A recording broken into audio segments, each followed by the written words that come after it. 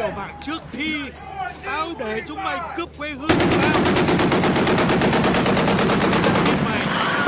Sẽ giết tất cả chúng mày. Tao sẽ liều mạng trước khi tao để chúng mày cướp quê hương của tao. Với các cấp cho tất cả các bạn bè đã chết của mày